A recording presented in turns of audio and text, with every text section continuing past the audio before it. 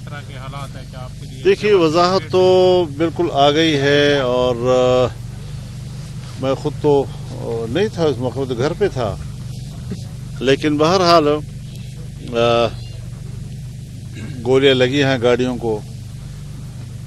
तो ये वाकया इसका इससे ताल्लुक नहीं है कि मैं था उसमें मैं नहीं था मैं महफूज रहा वगैरह वगैरह। ये अमन अमान के हवाले से सवाल उठा रहा है। और हम जो एक ज़माने से मुसलसल मुसलसल, यानी प्रेस कॉन्फ्रेंसों में इज्तमात में बार बार ये बात कह रहे हैं कि सूबा खैबर पख्तूनख्वा हो, सूबा बलोचिस्तान हो, ये दोनों इंतहाई मुतासर हैं जी। और, यहाँ तो एक तसलसल है, यानी चंद महीने पहले आपने देखा बाजावड़ में हमारे एक ही इज्तम में तिहत्तर साथी शहीद हो गए। और उसके बाद मुसलसल वो सिलसिला अब अस्सी तक पहुँच गए इस तरह दूसरे कबायली इलाकों में भी, शुमाली वजीरस्तान में, जनूबी वजीरस्तान में, टांक में, आप जानते हैं हमारे महमूद खान बिटनी के भाई जो मेयर हैं टांग के, पिछले साल भी दौरे पे निकले तो उन पर हमला हुआ। इस साल भी दौरे पे निकले तो उन पर हमला हुआ। तो अल्लाह की तरफ़ से है कि उन्होंने अल्लाह ने बचाया उनको। लेकिन इस हालत में आप बताएँ कि हम कंपेन कैसे चलाएँ? और इतनी बड़ी सिक्योरिटी अपने साथ लेकर जो हम चलेंगे, हम तो इसके आदि नहीं है जी। हम तो तनहा एक गाड़ी में सफ़र करने वाले लोग हैं। तो इस सूरत हाल में मैं तो पहले भी कह चुका हूँ कि जो कुछ हुआ है, बिल्कुल उन्होंने तजिया नहीं किया हालात का। और ये जो एक लफ्ज़ इस्तेमाल आजकल नई असलाह के तौर पर के लेवल प्लेइंग फ़ील्ड का जो लफ्ज़ इस्तेमाल हो रहा है, यकसा मौाक़े। अब यकसा मौाक़े सिर्फ़ एक पार्टी के हवाले से, यानी हम दो सूबों के हवाले से यकसा मौाक़े नहीं होंगे हमें। अगर पंजाब में लोगों को पुरान माहौल मिल रहा है या सिंध में लोगों को पुरान माहौल मिल रहा है तो क्या हमारे पश्तूनख्वा या हमारे बलोचिस्तान के इलेक्शन का हम मुतालबा करते हैं इलेक्शन होने चाहिए। इलेक्शन लाजमी है आइन का तकाजा है। और हमने तो तहरीक उठाई थी 2018 के इलेक्शन में धांधली की वजह से जी। लेकिन इलेक्शन दिए जाए और इलेक्शन का माहौल भी दिया जाए। ये नहीं कि हमें इस तरह छोड़ दिया जाए कि हम सुबह से शाम तक सोचते रहें। हम भी फिक्रमंद हों कि भाई शाम तक घर वापस आ सकेंगे या नहीं आ सकेंगे। आज मैंने लकी मोहरत में दिन गुजारा है। आप खुद अंदाज़ा लगाए कि दिन कैसे गुजरा होगा जी किस सिक्योरिटी के तहत गुजरा होगा जी और इससे जो पब्लिक को परेशानियाँ होती हैं आवाम को जो परेशानियाँ होती है, बाजारों को जो परेशानियाँ होती हैं जी फिर सारी किस कीमत पर आखिर लिहाजा हम फिर अपनी बात दोहराना चाहते हैं कि जो वाक़ रात को हुआ है, ये बजात खुद एक बदअमनी का वाक़ तो है। तो आप ये समझते हैं कि यहाँ की जो एडमिनिस्ट्रेशन है, सुबह और दिल्ली, ये आपको सिक्योरिटी फराम नहीं कर सकती, या पब्लिक को था असल बात यह है कि सिक्योरिटी फराहम भी करती है। आज भी सब फुल सिक्योरिटी मौजूद थी, सब कुछ मौजूद था। लेकिन मैं तो इन हालात में हूँ कि किस तरह सबको तो इस तरह नहीं होता ना चलो, मुझे तो आप एक पार्टी सरबराह की हैसियत से ट्रीट कर लें। मुझे आप हर तरफ़ से सिक्योरिटी दे दें, लेकिन सारे, हर उम्मीदवार को तो नहीं होता जी। लेकिन इस वक्त जिस वक्त मैंने प्रेस कॉन्फ्रेंस की इस्लामाबाद में, उसी दिन रात को मुझे थ्रेट आया क्या आपको थ्रेट है। एक और सियासतदान का भी उसमें नाम था। तो ये सारी चीज़ें जो हैं, इस वक्त हमारे लिए बहुत ही फिक्रमंदी का बायस हैं, तमाम पार्टियों के लिए, तमाम उम्मीदवारों के लिए। मैंने तो पीपल्स पार्टी के उम्मीदवारों से भी पूछा है कि आप कंपेन चला सकते हैं कहते नहीं चला सकते। आप क्या समझते हैं कि इलेक्शन हो पाएँगे?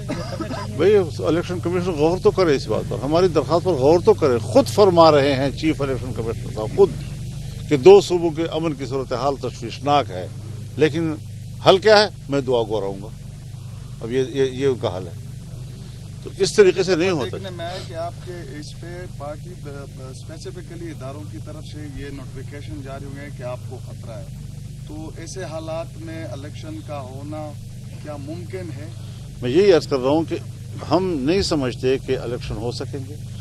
उल्टा ये होगा कि अगर मौसम की वजह से हो या अमन अमान की वजह से हो टर्न आउट कम हो जाएगा। अगर लोग पोलिंग स्टेशन पर नहीं जाएँगे ये धांधली का रास्ता खो, खोलता है जी। तो क्या इस बात का इम्कान है कि हमारे सूबे केपी में कोई महीने डेढ़ महीने के लिए इलेक्शन मुलतवी हो जाए? अब ये तो इलेक्शन कमीशन ही सोच सकता है हम तो अपनी आवाज़ पहुँचा रहे हैं जो रोना धोना है वो हम कर रहे हैं बाकी उनकी तरफ़ से है कि वो हमारे रोने धोने को क्या अहमियत देते हैं। साहब आप क्या समझते हैं कि आठ फरवरी के बाद मुल्क में मुआशी इस्तेकाम आ जाएगा? माशी इस्तेकाम ऐसा लफ्ज नहीं है कि आप एक जुमले से उसको हल कर हमने बड़ी तकरीर सुनी है। हम आएँगे छः महीने के अंदर ठीक कर देंगे तीन महीने के अंदर ठीक कर देंगे इस तरह नहीं है जी। गुजश्ता साढ़े तीन सालों में, चार सालों में जो ज़मीन बोस हुआ है और जहाँ आपका सालाना जीडीपी मनफी पे आ गया, उसके बाद आप दिवालियापन के बिल्कुल दहाने खड़े हो गए।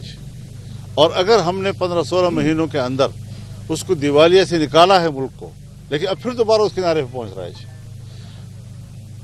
मैं नहीं समझता कि आज हुकूमत पाकिस्तान जो इस वक्त है निगरान, वो जून में बजट दे सकेगा। बहुत मुश्किल होगा उसके लिए। तो इस सारी सूरत हाल को संजीदगी से लेना है। मुल्क की मीशत को बेहतर करने के लिए आलमी अतमाद भी बहाल करना होगा। आज आलमी बिरादरी और पाकिस्तान के दोस्त ममालिक वो कहते हैं कि अगर दोबारा वो लोग आते हैं तो फिर हमारा पाकिस्तान से हाथ उठ जाएगा। हम पाक, अपने पाकिस्तान में फिर अपना सरमाया ज़ाया करने के लिए नहीं आ रहे तो ये हकायक हैं। खुदा के लिए ज़रा इन, इन, इन, इन चीज़ों को भी सोचना चाहिए हमें। और अगर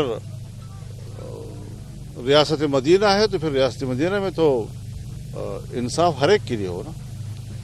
सबको हक बराबर मिलना चाहिए। ये क्या मतलब कि अगर कानून है और कानून की नज़र में सब बराबर हैं तो फिर उसमें सिर्फ़ इमरान खान के मुखालिफिन जो हैं, वो तो उसकी जद में आए, लेकिन वो कानून की जद में ना आए। उसके खिलाफ कानूनी कार्रवाई बिल्कुल भी ना हो। वो बालातर हैं। इस तरह के नज़रियात पेश करना, इस तरह कौम को गुमराह करना, इस तरह नौजवान जहन को गुमराह करना ये चीज़ें जो हैं, ये नहीं चलती मुल्क के अंदर। और वो पाकिस्तान की बका के लिए ख़तरा है। मैं सिर्फ़ ये नहीं कहता कि वो कोई इंतज़ामी मामला में कमज़ोर था, वो तो था ही था। मीशत तबाह कर दी, मुल्क के वजूद को ख़तरा है जी। और कश्मीर के तीन हिस्सों की बात उसने की है, पाकिस्तान की तकसीम की बातें उसने की है। और ये ऐसे अंदाज में करता है कि कम अज़ कम हम जैसा सियासी कारकुन वो समझ लेता है कि इसका एजेंडा है मौलाना साहब अफ़गानिस्तान के हवाले से ऐसे बातें चल रही थी कि आपका विज़िट है कोई शायद वहाँ पे आप विज़िट कर लें। तो जो अमन अमान के आजकल उनके साथ हालात कुछ हमारे अच्छे नहीं है बॉर्डर पे टेंशन चल रही है। तो आप क्या समझते हैं कि फ्यूचर इन चीज़ों का क्या होगा? या ये मसला ठीक हो जाएगा कि नहीं? हमारी कोशिश है। दावत उनकी तरफ़ से आई है, हमारा इस्लामिया की तरफ़ से बाबा उनके सफ़ीर ने मेरे घर आकर पहुँचाई है। और ये जो इलेक्शन का शेड्यूल आ गया, उसके फिर कागजात नामजद की दाखिल करना सिक्योरिटियाँ होना और अभी जो सिलसिला चल रहा है, उसकी वजह से ज़ाहिर है जी कि हमने पार्टी टिकट भी जारी करने थे, उम्मीदवारों का तयन भी करना था पूरे मुल्क के लिए। तो ये मसरूफियात ज़रा हायल रही हैं। इन अगले हफ़्ते में इम्कान है कि मैं अफ़गानिस्तान जाऊँ। और ये जो आपने सवाल किया है, इसी के हल के लिए कि हम दो दोस्त मुल्क हैं, बिरादर मुल्क हैं। हमारी कौमियत भी एक है हमारा मज़हब भी एक है हमारी सकाफत भी एक है। हम एक दूसरे के इतने करीब हैं कि शायद कोई दूसरा मुल्क इतना करीब नहीं होगा। तो फिर हमारे अंदर अहतमाद होना चाहिए। हम एक दूसरे के इस्तेकाम माशी इस्तेकाम इस्तलाल उसको सामने रखें। अफ़गानिस्तान का इस्तेकाम पाकिस्तान की ज़रूरत है और पाकिस्तान का इस्तेकाम अफ़गानिस्तान की ज़रूरत है। इस मकसद के लिए हम जाएँगे और ये जो दोनों मुल्कों के दरमियान बदअतमादी की फ़जाएँ पैदा की जा रही हैं इन शाह इसको तोड़ेंगे। के जो कई उम्मीदवार थे उनको क्या ऐसे हालात में शफाफ इलेक्शन हो सकते हैं आप कैसे कह सकते हैं कि सिर्फ़ पीटीआई के लोगों के मुस्रद हुए हैं अख्तर जान मैंगल के मुस्रद हुए हैं? तो आप कैसे कह सकते हैं कि सिर्फ़ उनके जी? ज़ाहिर है जी कि अगर कागजात पर एतराज़ है तो मेरे कागजात पर एतराज़ मेरे भी मुस्तरद हो जाएँगे। तो ये जो अन्य वाह कागजात दाखिल करते हैं और कोई पता नहीं करते कि भाई तो इनके ऊपर इतने वाजिबात हैं कि एक पे वो सबूत पेश नहीं कर सके। अन्य वाह दाखिल किए हैं उन्होंने। इस तरीके से मुस्तरद तो फिर होंगे। अच्छा, हालात में जिस तरह आप कह रहे हैं कि कंपेन करने का मौका नहीं दिया जा रहा कंपेन नहीं कर सकते तो क्या आप इलेक्शन की तरफ़ जाएँगे? मैं तो जाना चाहता हूँ लेकिन ये ज़रूर मैं कहूँगा कि मुझे वो माहौल भी दिया जाए। एक महीने के अंदर आप समझते हैं और अगर हाँ ये बात अपनी जगह पर है कि अगर वो मुझे पुरअमन माहौल देना चाहते हैं। इस मकसद के लिए अगर चंद दिन मौखर हो जाएगा तो कोई क्यामत नहीं आ जाएगी।